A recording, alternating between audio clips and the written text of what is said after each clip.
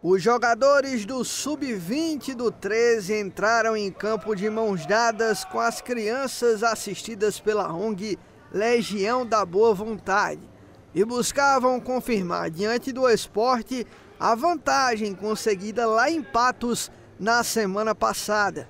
E essa vantagem aumentou logo no início.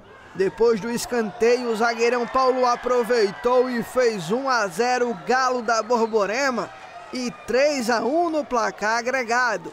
Aos 33 minutos, o Galo teria a chance de colocar um pé e meio nas quartas de finais.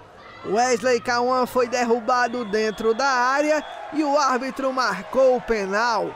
Marquinhos cobrou com categoria. Bola para um lado, goleiro para o outro. 2 a 0 Galo para a festa da criançada da LBV. Mas sem engana quem achou que o esporte desistiu, viu?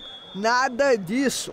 Aos 41, Ian cobrou falta, a bola ainda beijou a trave no rebote e Ericles manteve viva as esperanças patoenses. 2 a 1. E olha só, ainda no final do primeiro tempo, a trave evitou o empate do Alvirrubro. No segundo tempo, o Galo seguia criando algumas chances. Nessa falta, por pouco, Paulo não fez o terceiro, depois de ela bater na barreira e no travessão. E terminou assim no Amigão. Galo classificado para as quartas de final do Campeonato Paraibano Sub-22. Esporte de Patos que se despede da competição. Um. Hoje foi mais um jogo de, de raça mesmo, de entrega.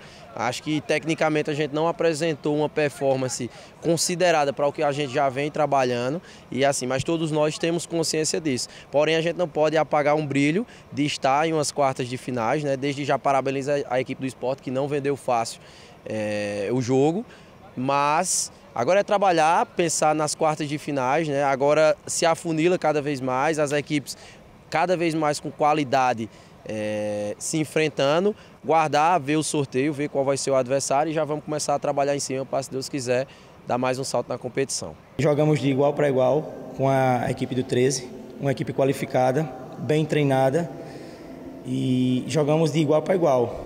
E o resultado justo era o empate. Mas, enfim, nossa equipe está de parabéns pela entrega, pelo comprometimento. Agora é voltar para Patos em paz e trabalhar que tem mais coisa por aí.